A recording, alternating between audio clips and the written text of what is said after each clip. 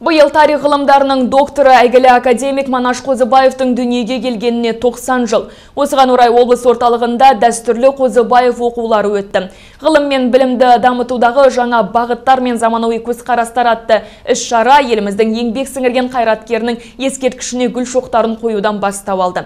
Кейін зиялы қауым өкілдері екінші корпустың конференция залына жиылды. Мұнда қатысушылар біртуар тұлға жайлы арнайы әзірлеген баяндамаларын оқыды. Сондай-ақ Франция, Литва және өзге де елдердің ғалымдары онлайн байланысқа шығып, Манаш Қабашұлы туралы жазған материалдармен бөлісті. Ал көрмеге қойылған еңбектер мен фотосуреттер президент мұрағатының қорынан жеткізілген.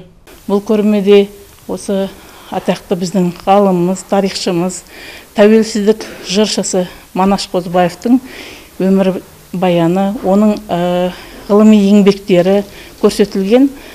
Ойлаймын, бұл көрмеде үлкен бір зерттеулік еңбектердің бірі болып саналады бұл.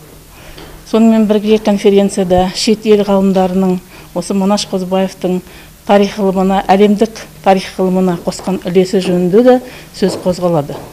Манаш Қозыбаевты біз ең бірінші тарихшы ғалым ретінде ол кісінің осы тәуелсіздік кезінде өте үлкен маңызды мынау отан тарихын зерттеу барысында үлкен еңбек атқарғандығын оның үлкен ғылыми мұрасының осы университет көлемінде қаншалықты насихатталып жатқандығын әрине біз ерекше айтып кетуіміз керек. Университетке 2003 жылдан бері аты берілгеннен бастап мәңгілікке есте қалдыру мақсатында 2004 жылдан бастап осы дәстүрлі қозыбаев оқулары деген халықаралық ғылыми тәжірибелік конференция өткізіліп келеді.